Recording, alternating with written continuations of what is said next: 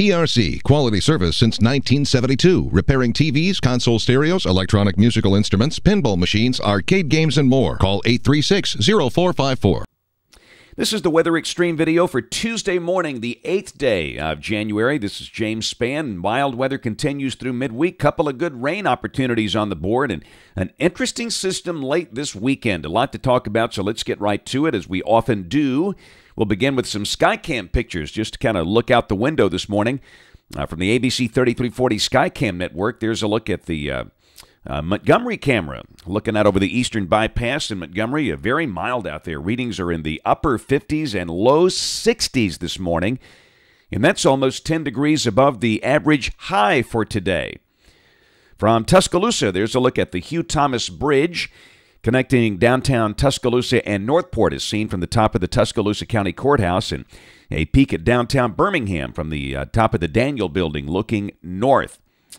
What a severe weather outbreak last night. And still some storms are going on this morning in the broad area from uh, northeast Oklahoma and northwest Arkansas back up into the Great Lakes. And one of the reasons for the severe weather outbreak, that amazing warmth. There's a look at temperatures this morning. And uh, you can see uh, readings are way, way, way above normal. Uh, in the 60s, and upper 50s running all the way from uh, Texas, Louisiana, Mississippi, Alabama, up into parts of Ohio. And then you get back in the cold air, back in the uh, uh, northern plains and the uh, Rockies out there. And the cold air will win the battle. Hey, this is January, but uh, uh, it has been really something. Look at the storm reports last night. we had at least two fatalities, according to my data this morning, over southwestern Missouri with those tornadoes, and a few uh, non serious injuries up north over parts of North Illinois and far southeastern Wisconsin. Uh, we spoke with uh, Vince Condella, the uh, meteorologist for WITI in Milwaukee last night. He was our guest on Weather Brains. If you get a chance to listen to that show, you'll learn more about that uh, outbreak last night. And certainly the Springfield, Missouri area was hit awfully hard. now, looking ahead, Again, the good thing here, we've got two rain events, and that should bring some good rain in here. This is suggesting rainfall amounts of two to four inches for North Alabama between now and Saturday evening. And that would be rain that falls tonight, rain that falls on Thursday. Thursday should be the big rain event. And by golly, we'll take that. Now, let's look, at the convective outlooks and talk about severe potential. This is for this afternoon and this evening. A slight risk of severe weather from Vicksburg and Monroe almost up to Indianapolis. This would include Memphis and Paducah. And uh, this is the same setup that brought the big storms to the uh, region just northwest of there last night. But as they move in here tonight, we think the storms weaken. We just don't expect a severe weather problem. Limited instability, better dynamics pulling away from us. So uh, I just don't think it'll be an issue. But we'll watch, as we always do. You know, when it comes to thunderstorms, expect the unexpected, but I just don't think it'll be a problem. Now, tomorrow, we are uh, in between waves, so uh, no issue with storms. Uh, we've got that general thunderstorm area there, and that would be for the storms that come in after midnight tonight. But look at Thursday. Almost all of Alabama in a slight risk.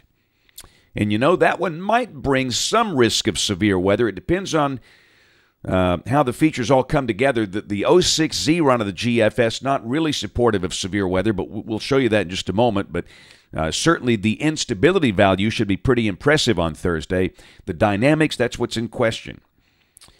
Here's a quick peek at what's happening this morning, uh, and you can see rain still falling. Uh, in the broad area from Tulsa to Detroit, and really heavy rains falling up north. The big thaw is on for sure.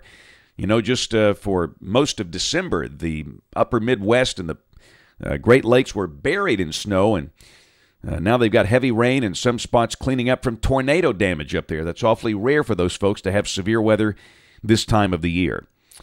Okay, modeling. This is the 06 GFS, valid at uh, uh, midday today at noon at 500 millibars, about 18,000 feet off the ground. We've got the uh, big trough rotating through the plain states and down below. During the day today, most of the showers and storms will stay off to the west. We'll go to midnight tonight. The uh, band of storms moving in here. Deep surface low near Detroit. And really, this run is pretty slow here. This is almost suggesting most of the rain will come from about 10 o'clock tonight until 6 o'clock tomorrow morning. And again, no severe, uh, pretty fast moving band of showers, maybe some storms. That would suggest one quarter to one half inch. Not a great rain event. And then midday tomorrow, the surface front stalls out near Montgomery. There could be a few lingering showers over the south. Uh, the north should stay mostly cloudy but dry tomorrow. Not quite as warm, highs in the 60s. And then Thursday, here comes the next trough as the wave train is cranking up here. Down at the surface on Thursday, again, the GFS really on this run not looking like a big severe weather problem. We've got the surface low kind of detached and way up north over the Great Lakes, but a good big batch of rain down here, and that's exactly what we need. But we have seen other runs with a surface low farther to the south, and uh, the wind feels stronger. So we'll see. Again, let's get the system tonight out of here, then we can focus on that one. Friday, that's gone. A north wind kicks in. We get temperatures back to where they should be for this time of the year, highs in the uh, 50s. And then the question involves the next system. This is Saturday. In the upper levels, that energy diving down into New Mexico and West Texas. That's what we're going to watch here. Let's go to Sunday. That energy rotates over to uh, Louisiana and eastern Texas. And down below that, a surface low forms in the northeast Gulf of Mexico, really near Apalachicola, not too far south from there. And uh, this is suggesting rain beginning to break out uh, over uh, Georgia, the Florida Panhandle, and parts of Alabama. And then we go to Sunday night at midnight. The surface low is now near Charleston. Cold air is pulled in, and that would suggest a change from rain to snow for the northern part of Alabama Sunday night. Uh, and, you know, uh, we've got a little model madness, but the consistency has been excellent for weeks in the idea of a storm on January 13th. And where exactly that surface low winds up, how much cold air is involved, that's going to be the key to the snow opportunities. Now, let me just quickly show you the Canadian here. This is valid for uh, Sunday evening at 6 o'clock. Now, it's got the surface low over eastern Kentucky.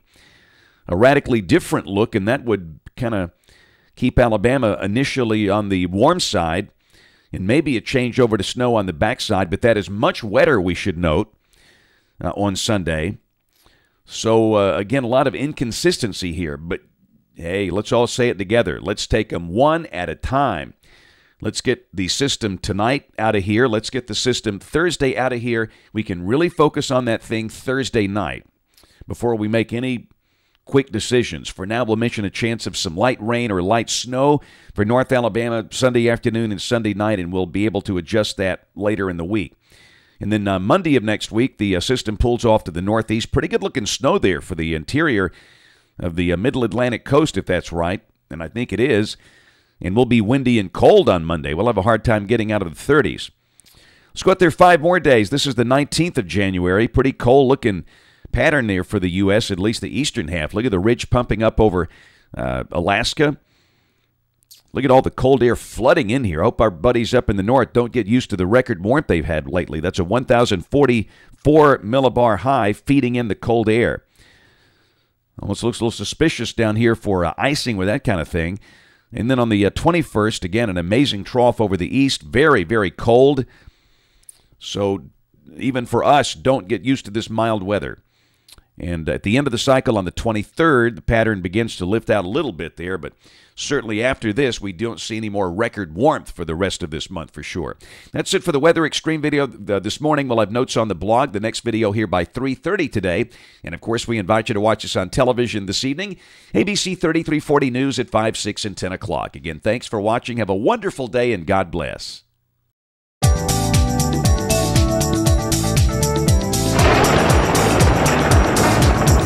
weather, weather, weather,